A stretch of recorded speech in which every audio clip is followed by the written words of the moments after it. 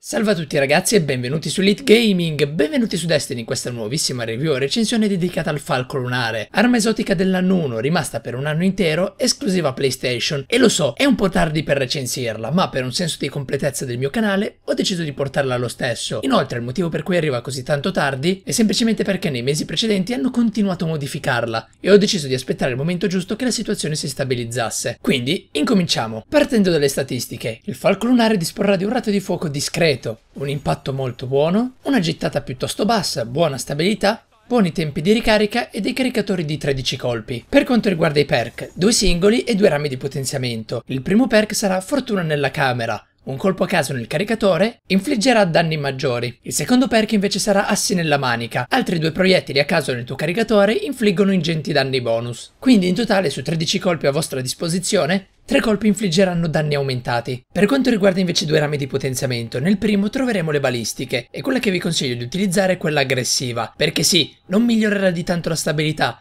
ma la renderà principalmente verticale, il che vuol dire più facile da controllare, e oltre a ciò aumenterà leggermente pure l'impatto. Mi rendo conto che fornisca meno gittata che utilizzando la balistica di precisione, ma nel complesso, e soprattutto sul fronte della stabilità, lo trovo un miglior compromesso. Nel secondo ramo invece potremo scegliere tra ricarica rapida che aumenterà la velocità di ricarica dell'arma, forgiatura martello che ne aumenterà la stabilità, oppure estrazione celere che aumenterà la velocità con cui l'arma può essere estratta. La mia scelta in questo caso ricade su forgiatura martello, avere una gittata maggiore con quest'arma vi consentirà di infliggere danni considerevoli anche a notevoli distanze, rendendo quest'arma più efficace anche per il medio raggio. In conclusione, il falco lunare attuale è soltanto l'ombra di quello che era nell'anno 1, sia per la possibilità di poter trovare più colpi fortunati nello stesso proiettile, arrivando addirittura a shottare un singolo nemico con un singolo proiettile, sia per le statistiche generalmente migliori. Rimane comunque un'ottima arma sia per il PvP che per il PvE, grazie sempre ai suoi danni elevati e ai suoi colpi fortunati. Forse non più la primissima scelta, senza dubbio però non un'arma da buttare. Dunque ragazzi, per quanto riguarda il falco lunare è tutto. Come al solito io vi ringrazio per la vostra attenzione, spero il video sia stato di vostro interesse e vostro gradimento, pertanto vi invito a lasciarmi il vostro feedback, un voto, un commento, iscrivetevi se non l'aveste ancora fatto, condividete questo video con tutti i vostri amici appassionati di Destiny e noi ci sentiamo alla prossima. Ciao a tutti ragazzi!